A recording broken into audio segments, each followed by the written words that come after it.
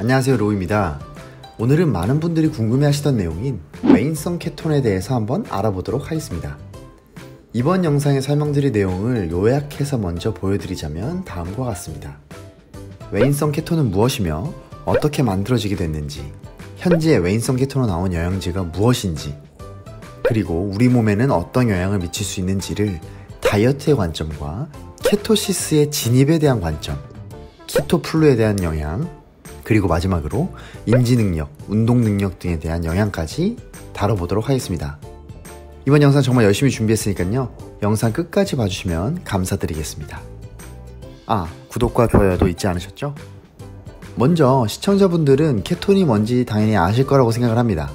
하지만 혹시 모르는 분들을 위해서 케톤은 우리가 사용할 수 있는 포도당이 다 떨어졌을 때 우리의 몸이 지방을 주 에너지원으로 사용될 때의 에너지원 형태입니다. 그래서 케톤은 우리 몸에서 자체적으로 생성할 수 있는 에너지원입니다. 외인성 케톤이란 무엇일까요?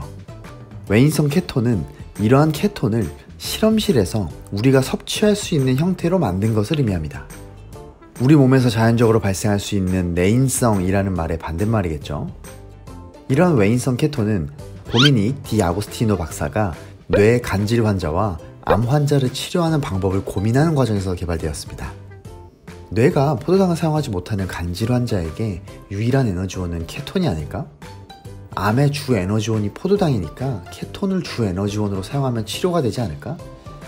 실제로 키토제닉 식이요법을 통해서 뇌전증 환자나 간질 환자, 암 환자들의 치료가 행해지다 보니까 이러한 물음들을 기반으로 외인성 케톤을 개발하게 되죠. 외인성 케톤에도 여러 종류가 있었습니다.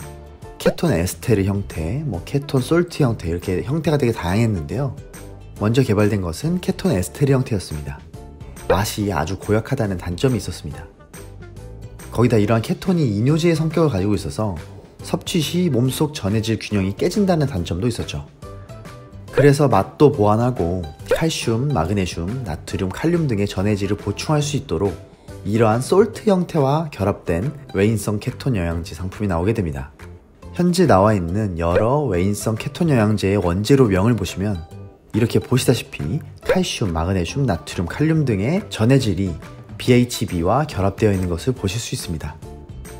현재 미국에 나와 있는 제품들을 소개드리자면 이런 종류의 영양제가 있습니다.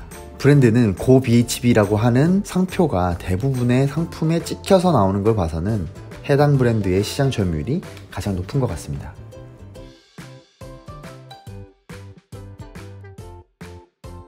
그러면 이제 본론으로 들어와서 이러한 외인성 케톤은 우리 몸에 어떤 영향을 미칠까요? 먼저 다이어트의 관점을 살펴보도록 하겠습니다. 다이어트의 관점에서 외인성 케톤의 섭취는 우리가 스스로 지방을 태워서 케톤을 생성하는 프로세스에 안 좋은 영향을 미칠 수 있습니다. 즉, 다이어트에 효과가 없다. 라는 말씀을 드리는 거죠. 우리가 필요한 에너지를 100이라고 봤을 때 우리가 지방을 태워서 에너지를 내야 하지만 외부에서 50만큼의 에너지가 들어온다면 내 지방을 태워야 할 이유가 사실 적어지겠죠. 이 부분은 외국 채널 중 다이어트 닥터나 토마스 딜라워, 닥터 에릭 버그 박사님이 공통적으로 이야기하는 부분입니다. 왜냐하면 ketosis의 정의가 우리가 지방을 태워서 케톤을 에너지원으로 사용하는 상태인데 케톤을 에너지원으로 사용하더라도 지방을 태우지 않는다면 엄밀히 말하면 ketosis라고 보기 어렵다는 거죠. 그래서 결론은 케톤 영양제는 다이어트와 체중 감량을 위해서 먹는 것은 좋지 않다는 겁니다.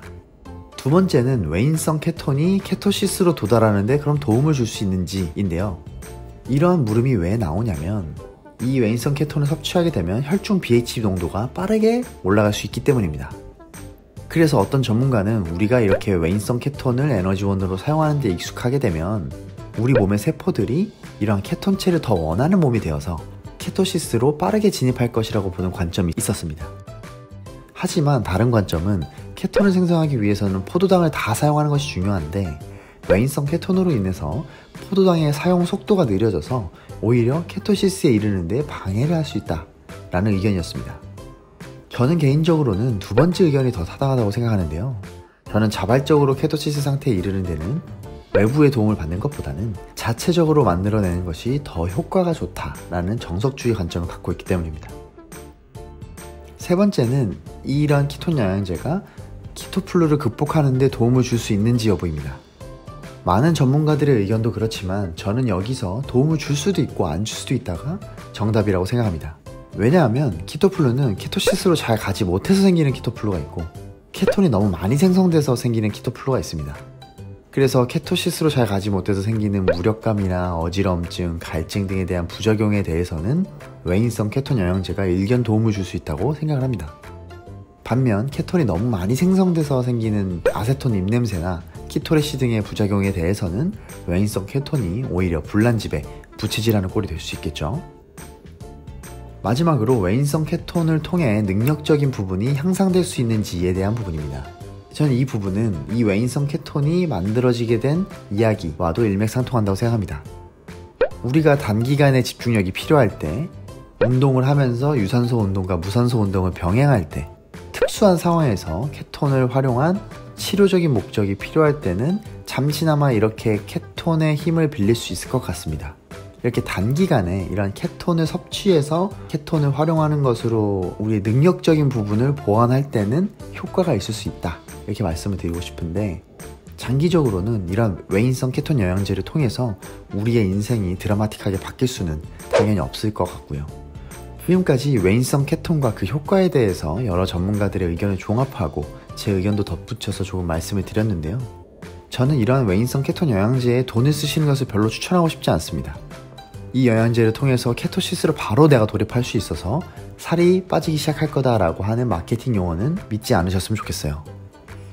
우리를 치료할 수 있는 가장 좋은 것은 음식이다라는 마음가짐을 절대 잊지 않으셨으면 좋겠습니다. 하지만 굳이 사시겠다고 하는 분들은 갑자기 집중력과 체력 등이 필요할 때 사용할 수 있는 상비약 정도로 생각하시면 좋을 것 같습니다. 지금까지 이러한 외인성 케톤체에 대한 정보를 바탕으로 현명한 판단하셨으면 좋겠습니다. 지금까지 시청해주셔서 감사합니다.